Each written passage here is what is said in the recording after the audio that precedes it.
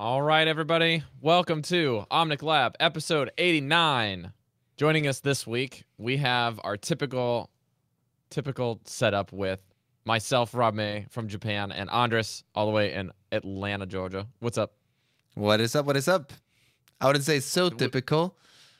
So typical that we decided to mix it up and we're going to have the one, the only, the skyline of skylines. What's up, dude?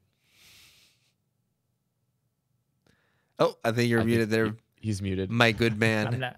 We're good. We're good. I, I was. we are just. We are just seeing if it worked, right? Uh, yeah. Nice to be on.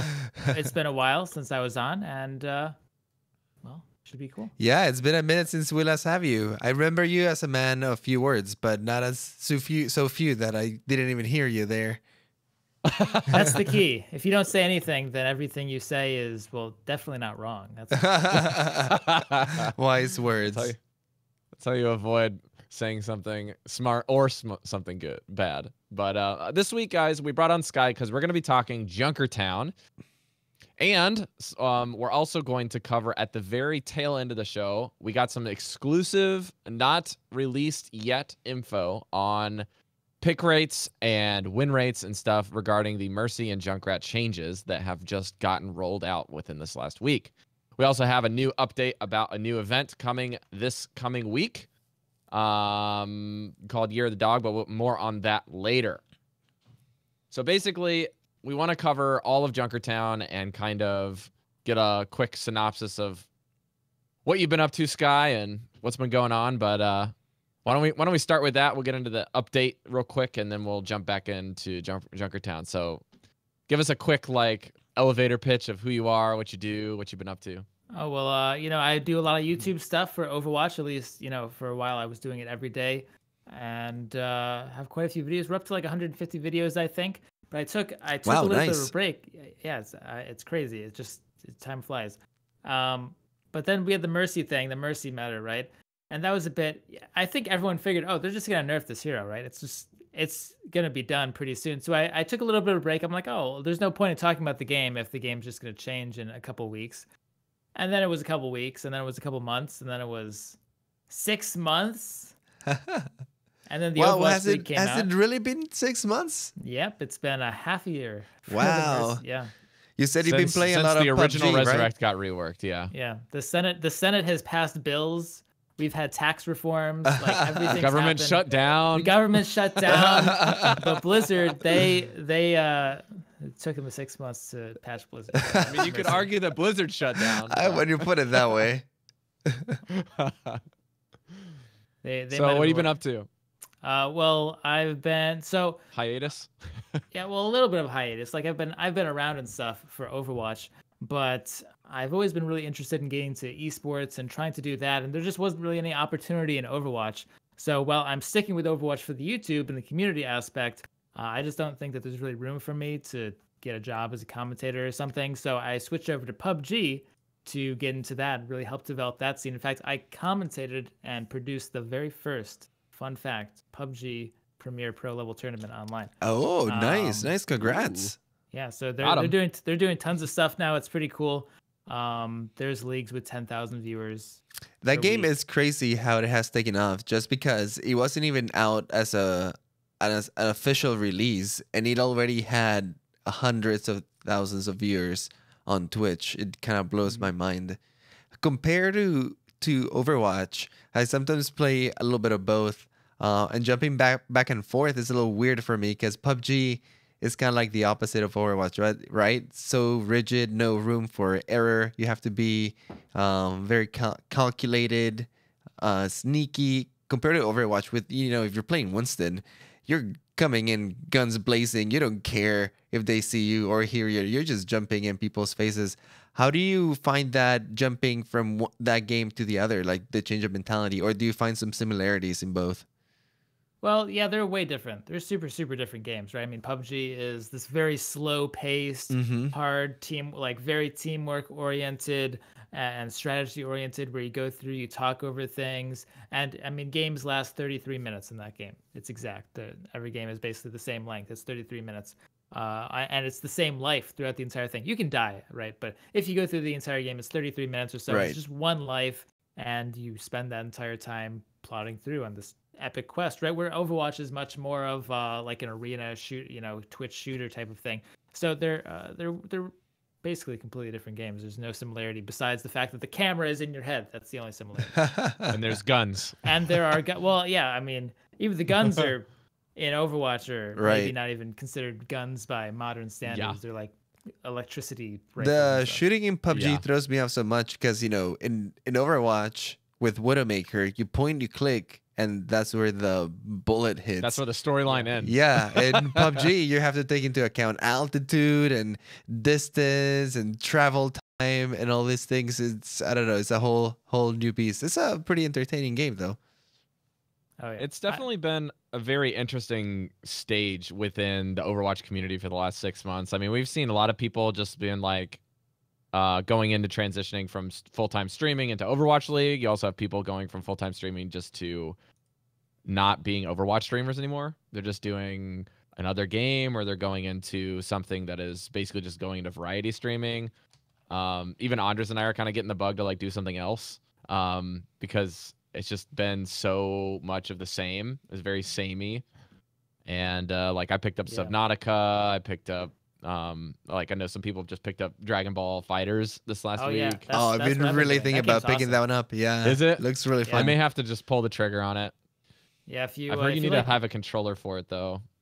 Um, it's it's probably the most generous fighting game to play with uh, with with not like a real fight stick or a real fight pad or anything like that. hmm Um, but yeah, w- when it comes to Overwatch, I think that one thing that they're doing is they're really, uh, I think that they're holding the game to too much of uh, this this high level. Like for Counter Strike, for example, you have Counter Strike or Brood War or uh, you know games that games that are very old. Right, Counter Strike is 16, actually 18 years old, 17 years old at this point. Right, so it makes sense that well, it got here through this huge, arduous history. And changing it at this point, you want to be very careful, make small tweaks.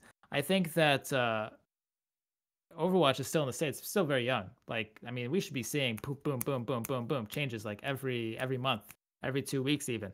Um, and you know, to go six months without changes, clearly, clearly, it's, the game's not perfect uh, in just a year. That's silly. Do you think that sometimes they're tied down a little bit by things like their storyline or the character personalities that they've built behind certain characters and they're afraid of losing certain identity? For example, in Mercy's case, her resurrection is such an iconic part of the character since the beginning and the inception of the game that maybe the thought of removing resurrection for the health of the game it's out of the question because of the setup that they've kind of like lit up to it Well, here's the thing. I mean, resurrect. You could balance resurrect. It's not impossible. I don't think it's it's probably something you can do.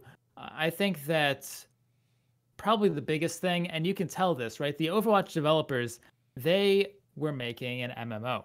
The head, the lead developer, Jeff Kaplan, he's done MMOs. His his main background as a competitive gamer was through MMOs.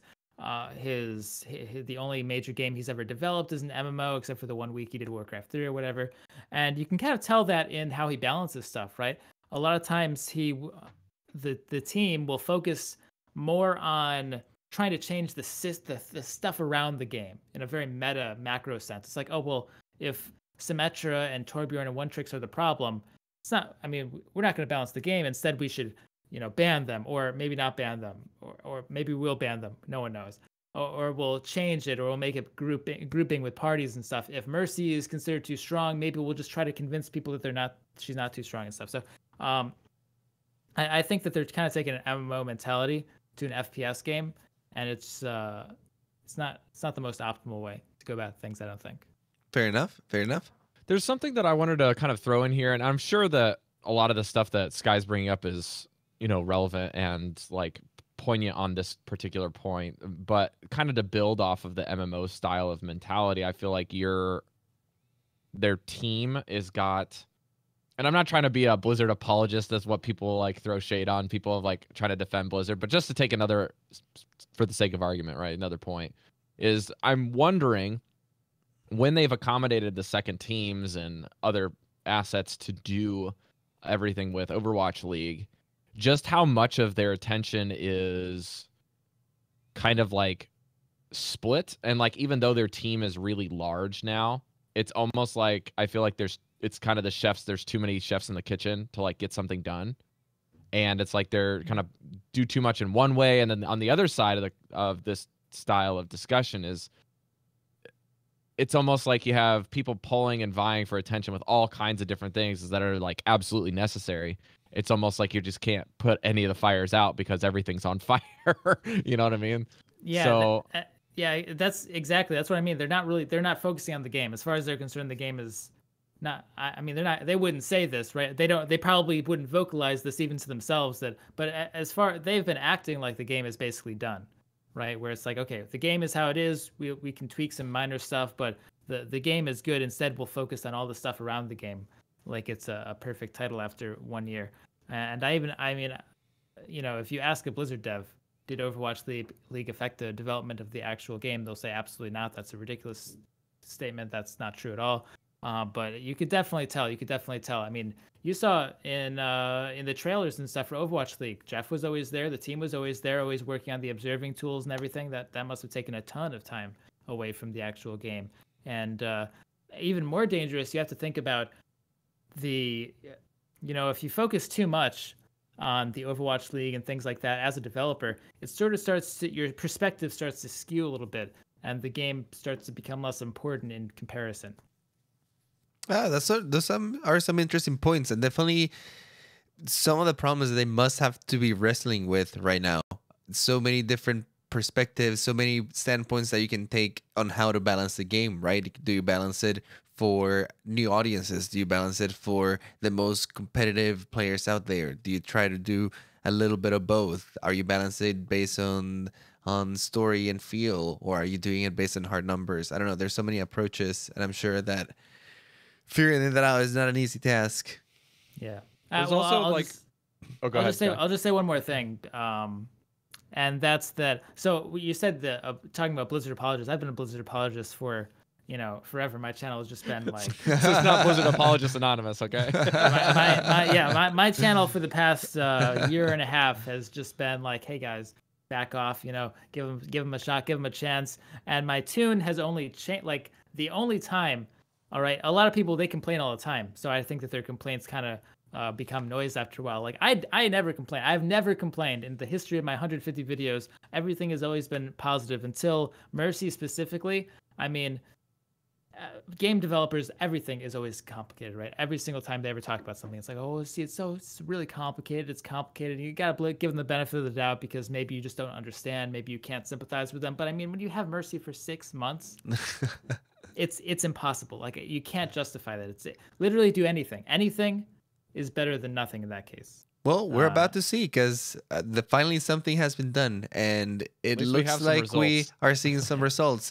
We'll get into that a little bit at the end of the episode, as Switch from Om- Omnic Meta has been very kind to supply us with some statistics on the new Mercy patch. It's still a little early, but regardless, you know there are some results coming out that we can actually start to see. So as we transition into the Junkertown, we have a quick update. We're gonna try and target the final Friday in February, which would be the 23rd for the next game night. But we haven't locked it in with our admins and making sure everyone will be there. So there is a slight chance this might get bumped to the first week of March, or this. Um, I, I very, very much doubt it will be a week from Friday. But we'll we'll we'll get back to you on that and. Um, We'll we'll cover that next week. We'll hopefully lock that in this week.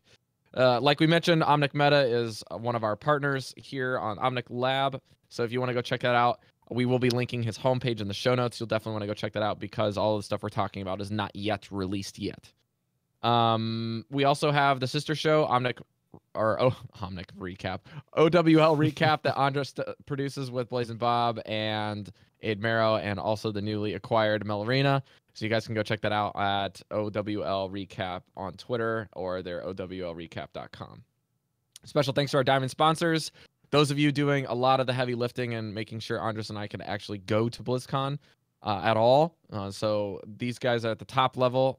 We have Chris Play, a Good Apollo, Golden Soldier A, Great Root Bear, Kip, Lysum, Magic, Jan Jinkle, which uh, is my my duo queue partner, man. Been pulling it together this last week. Ricky Tiki, Shazir, Top Score Solutions, and Tragic Zach. Thank you guys for your continued support. And also, not to negate anybody else that is also supporting at the lower tiers. You guys are great, and every little bit helps uh, more than you would ever imagine. But without further ado, Andres, the floor is yours. Let's talk Junkertown. Let's jump right into it. All right. Before we get into the heavy stuff, into the detailed stuff, let's do like a roundabout about Junkertown. What is it about the map? What is it that people have to take in mind when they're traveling to Junkertown, whether they're attacking or defending? What are some of the features of the map that stand out when you first see it that you're like, hmm, maybe this here will stand out, or hmm, this strategy might work over here? I'm gonna pass it to you, Sky, and see what you think. Well, the first thing you you see when you look at Junkertown is that it's a very meandery type of map, and it it really switches very rapidly between being meandering maze-like, really short close quarters to being suddenly opened up into uh, long-range type Right. of angles. And it does that several times throughout the map. Mhm. It starts off close, becomes long within the first point. The second point's close, the third point's long, and then you get around the corner and it gets short again. So it's definitely a really chaotic map. It's a difficult map uh, if you follow Overwatch League and, you, and if you watch those matches. It's a difficult map to watch because it's like everything's just going on all, all the time. And uh, well, it, it really matches up with Junkrat's personality. it does. It's hazardous. It's it's a map that right off the bat, I think about heroes, for example, like Farah, not being very successful in this map.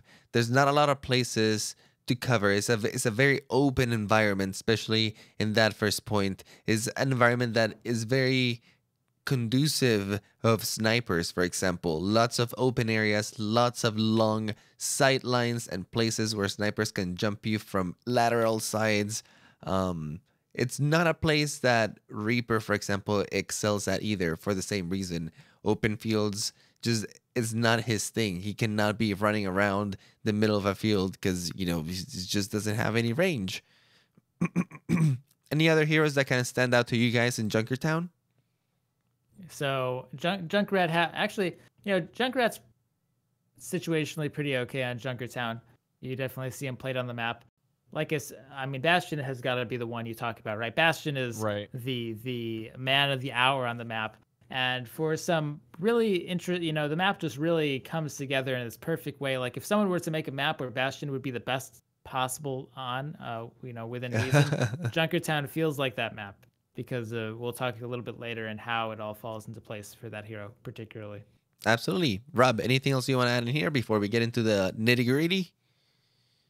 I mean, all the stuff I want to talk about is all the nitty gritty stuff. So All right, let's just get into it. Let's get right into it. Let's go into the first point of Junkertown. Let's start from the attacker's perspective and move in uh, the map into this. From Overwatch League, I think we've gotten a good sample size of what some of the pros like doing in this map. Like you mentioned before, Sky, Bastion is one of the preferred heroes. I think the protected president strategy, it's probably the preferred strategy on this map. We don't see it so often in other maps, especially like Numbani or Dorado. Sometimes they will pull it out, but not as often as they pull it out in Junkertown. And why is that? Why is Bastion so popular in this map? Well, we have Junkertown. If you look at the first point, it looks very wide open and it looks like the world is your oyster and you can do whatever you want and it's uh, very sandboxy nature, but really isn't because on the far right hand side of the map, when you first exit as the attacker, on the far right hand side, it just leads into sort of nowhere. Because remember, the defenders always stand back on that high ground in the middle middle section, right? So if you can't bypass that, uh, it- it's it's pointless with the flank, right? So the right, Right. side flank doesn't go far enough. The left side flank doesn't go anywhere. except for this very narrow choke point that is uh, very exposed to the one place that the defenders always stand in. So you pretty much only have one choice as attackers, and that's just to go, just go straight up the middle, uh, with very little cute type of stuff Planning. you can do.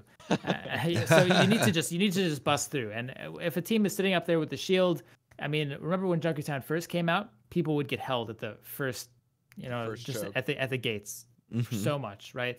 It's because you put a shield there, you put two shields there with Orisa or Reinhardt, and suddenly you can't really punch through because there's no way to get around it. There's nothing cute you can do. You just need to go and ram into it until you lose. Uh, with Bastion, however, Bastion's great because you can punch through the shield. And on the first point of Junkertown, once you punch through that initial shield, they have to back all the way up to be, to the beginning. There's really no in between there. So once you break that initial hold, they have to go all the way back. And junk and with with Bastion, you can just push all the way up. That's why you also see Hanzo and Widowmaker picked off from the map because Bastion will just automatically get you through that first point, that first part rather, not the first point, the first part of the first point, and then Widowmaker and Hanzo can take over when you get to that big, wide open sort of area. That makes a lot of sense. And it, you're totally right. Bastion provides that huge firepower that you need to be able to carry the payload through that very contested choke point that, like you said, is always shields down over there. Widow and Hanzo, like you said, are the picks that people have been choosing to go along with Bastion because not only what you said, once you get to the point right after that bridge where it's very open, it's like Widow's hunting ground, basically. Before that, you also have these two lateral sides. And what you said, is they're not really flanks, but Widow and Hanzo can sort of take advantage of the high ground that those two lateral sides provide and do the same bypass the shield that has been set up in the bridge and try to get those shots through the shields through the Orisa into their supports into their backline and alleviate the pressure that's going on and you see that happening all the time because at that point the defenders have three huge threads that they have to be worrying about. They have a Bastion coming through the middle, and they have a Hanzo and Widow just poking, and jumping up and down uh, from the sides, which it's it's what they do, right? Widow and Hanzo are good at climbing to that high ground. pretty much everything that I've been able to see on this map that is, you know, the whole thing that they call pirate ship, which is basically the the ship's sail is a shield or two, and then Bastion is the the stern, I guess you could say. But um you set up on the payload and the payload sails through the oceans very, very smoothly. But basically, I think why you're also going to want to select heroes like Hanzo or heroes like I've even seen some people try to use Mei just to kind of like offset a little bit of the the, the barrier damage, um, just so you can kind of get a quick setup or a, force your own flank routes. Um, but it's again, it's less effective because Bastion can rip through the walls very, very efficiently, especially when you're running it alongside heroes like Orisa, because you're basically doubling the damage and shooting from behind a barrier.